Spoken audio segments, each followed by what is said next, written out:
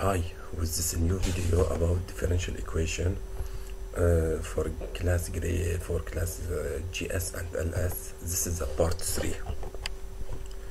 Uh, in this part, uh, we will talk about the equation uh, in the form uh, y prime plus ay equal g of x, where g of x is a given function defined over an interval i. How to solve this differential equation y prime plus ay equal g of x? To do that, uh, we have to pass uh, two steps.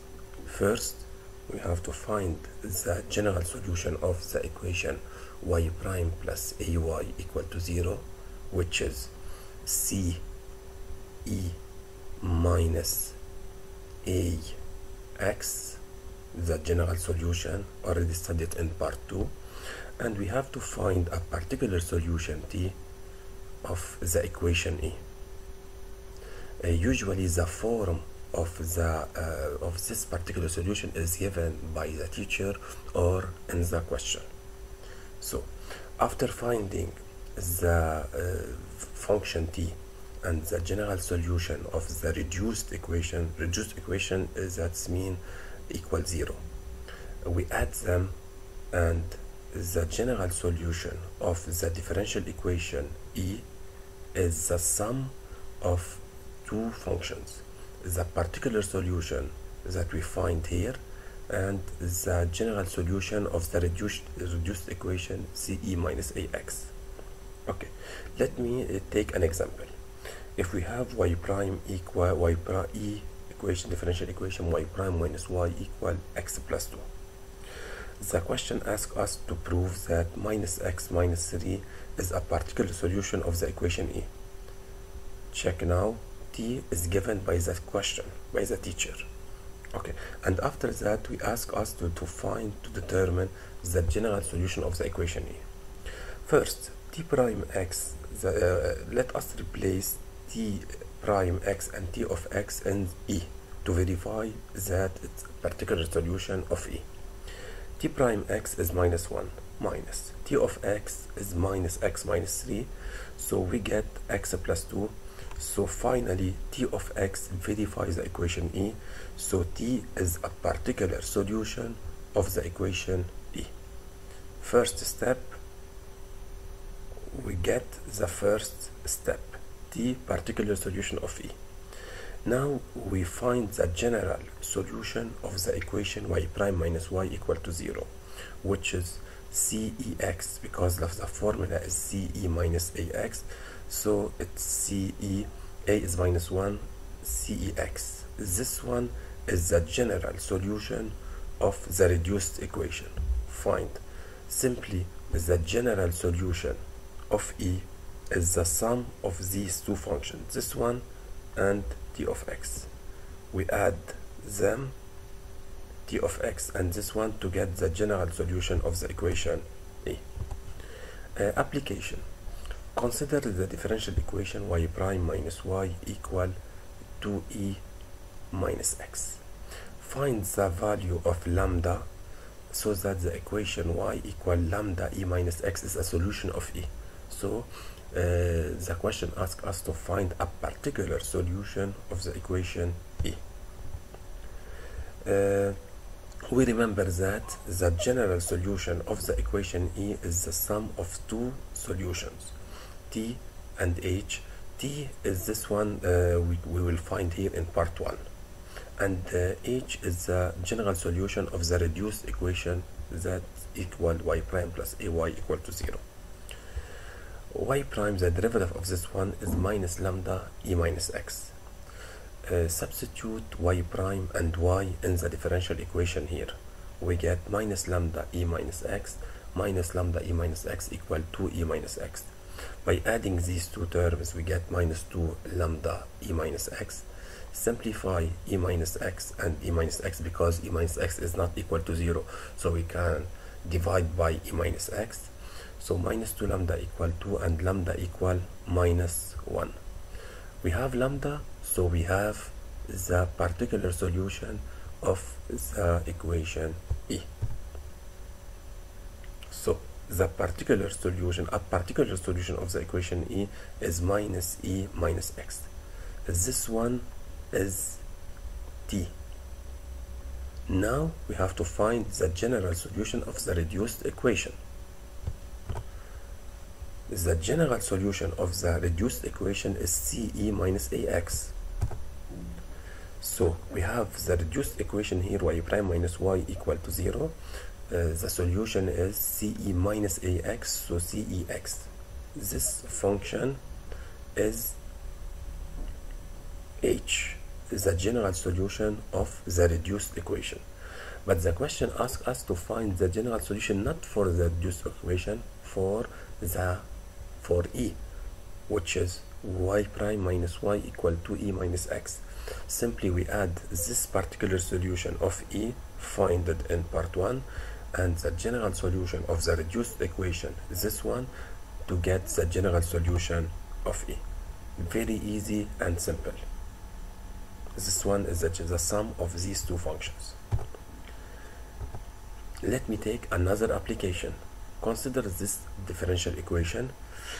Okay uh, the first part is uh, we have to find a particular solution. We have to prove this one is a particular solution of e.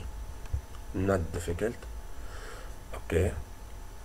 T prime x derivative of this one is 2 over x substituting the t prime and t in the equation of e we get 1 over 2 y prime so t prime x minus y so minus t of x equal half times 2 over x minus t of x put it here so minus 1 minus 2 ln x equal simplify 2 and 2 1 over x minus 1 minus ln 2 2 ln 2 2 ln x so the equation e is verified then t is t of x equal 1 plus 2 ln x is a particular solution of the equation e so this one is D. to solve the general solution of E still to find the general solution of the reduced equation let us write the, the reduced equation half y prime minus y equal to 0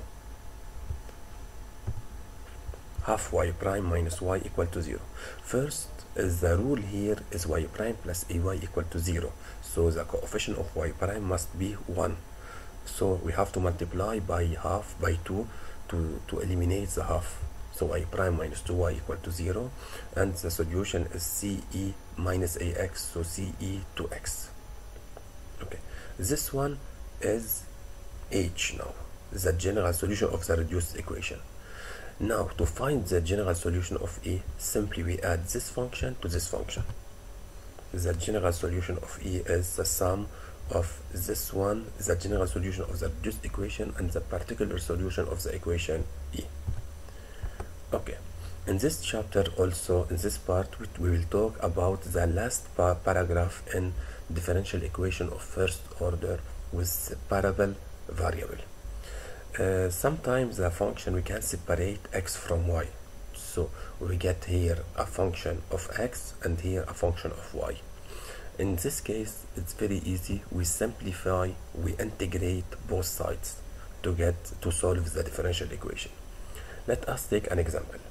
Solve the differential equation this one.